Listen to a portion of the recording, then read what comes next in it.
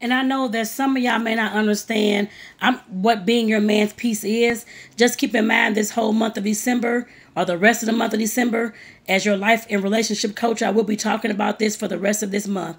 I have several topics, of course, to talk about this month. Some things that we, of course, have to learn how to speak the truth around in order for us to be in a happy, loving, um, committed relationship. I guess I put it that way one thing of of course is of course being your man's peace is to love him dearly.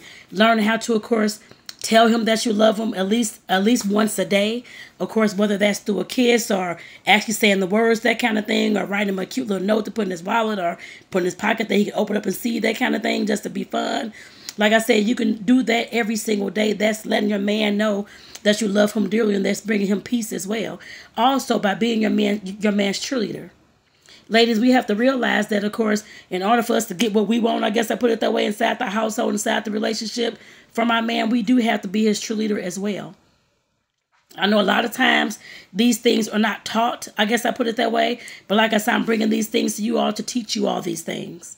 I had to learn this. I'm not just speaking to y'all, I'm speaking to myself as well. I had to learn this as well to be my man's cheerleader and to, of course, love him dearly, to make him feel like I'm his peace when he comes home. I miss peace in the morning when he leaves. I give my man a kiss every morning. We have to learn how to, of course, like I said, be his peace. To let him know that we're there for him, even though the world may not be there for him. I guess I put it that way. So, ladies, learn to love your men dearly, y'all. Like I said, these are things that I know women in other countries may be taught from a young kid on up. We're just not here in the U.S. I can, t- well, not everybody. I don't know the percentages. I have no idea, but a lot of us aren't. I know I wasn't. The ladies I've talked to, they weren't either. Like I said, we have to learn these things, and this is something simple that you can start implementing today. Unless you don't love your man, then you have to do, do do what you need to do.